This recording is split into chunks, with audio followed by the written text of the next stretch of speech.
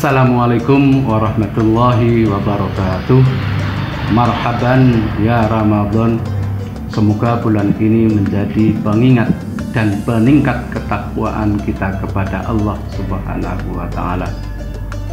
Selamat menunaikan ibadah puasa. Wassalamualaikum warahmatullahi wabarakatuh.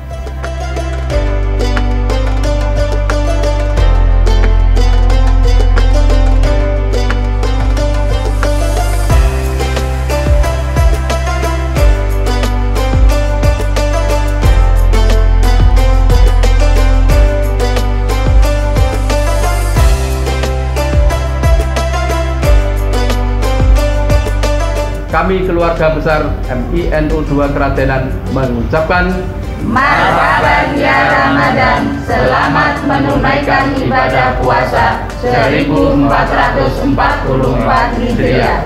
Wassalamualaikum warahmatullahi wabarakatuh.